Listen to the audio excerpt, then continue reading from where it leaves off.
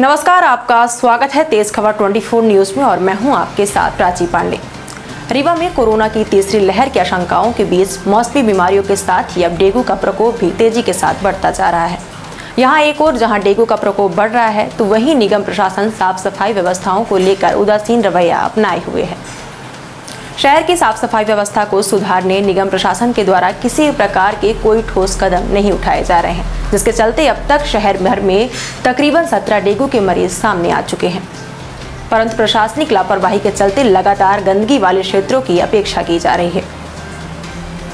Corona की तीसरी लहर की आशंकाओं के बीच इस समय वायरल के साथ ही डेंगू और मलेरिया भी पाँव पसार रहा है। रीवा ज़िले में इन दिनों तेज़ी के साथ डेंगू का प्रकोप बढ़ता जा रहा है, जिसके चलते अब तक डेंगू बीमारी के 17 मरीज़ सामने आए हैं। जिनके स्वास्थ्य को ध्यान में रखते हुए अस्पतालों में भर्ती किया गया, जहाँ पर अब उनका इलाज किया जा रहा है। डेंगू के मरीजों की बढ़ती संख्या के बावजूद सफ़ाई व्यवस्था को लेकर निगम अमले की उदासीनता ही नज़र आ रही है, जिस पर शहर भर में निवासरत लोगों के द्वारा लगातार प्रशासनिक अमले से शिकायत की जा रही।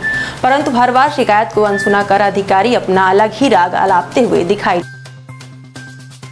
दरअसल रीवा नगर निगम के भीतर 45 वार्ड है, परंतु वार्डों की सफ़ाई को लेकर नगर निगम का अमला हमेशा ही निष्क्रिय रहता है, जिसके चलते वार्ड वासियों को परेशानियों का सामना करना पड़ता है।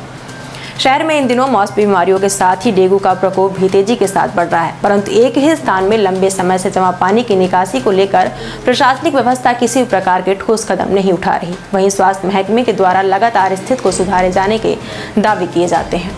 यहाँ की सफ़ाई व्यवस्था बिल्कुल भी नहीं है। यहाँ पर पानी घुटनों से ऊपर पानी सड़कों में भर जाता है।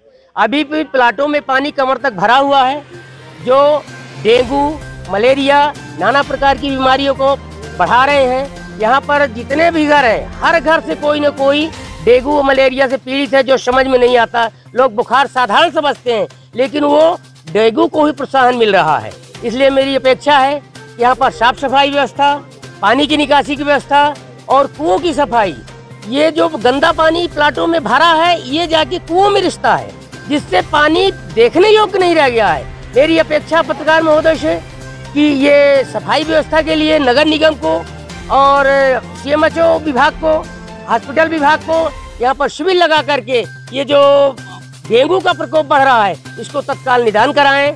साथ ही यहाँ पर सफ़ाई व्यवस्था पानी की निकासी बहुत ही ज़रूरी है। आ, हमारे डिस्ट्रिक्ट हॉस्पिटल रीवा में डेंगू के लिए, डेंगू की जाँच के लिए व्यवस्था हो गई है, जिसमें उसका कन्फर्मेटरी टेस्ट जो एलाइजा होता है, वो हमारे यहाँ होता है। रीवे ज़िले में फ़ील्ड से केसेज निकले हैं, लगभग सत्रह केसेज मेरी जानकारी में जो है कि सत्रह केसेज डेंगू के पाए गए हैं, और उनका सबका टेस्ट होने के बाद कंफर्म कर लिया गया कि डेंगू के हैं। बाकी और फील्डों में जो कार्य है वो मलेरिया अफसर, जो डेंगू वो हैं, वो अपना फ़ील्ड वाला काम करते हैं। हमारे पास हमने अपने अस्पताल में पलंग सुरक्षित रखे हैं, जिससे मरीज़ जब ये बुखार के भी, डेंगू के भी जो आते हैं, मैं उनकी सबकी एडमिट करके और उनका प्रॉपर उपचार कराता हूँ, जो उनकी डेंगू की गाइडलाइन है, उस अनुसार से मैं उनका सबका उपचार कराता हूँ। मेरे पास पर्याप्त व्यवस्था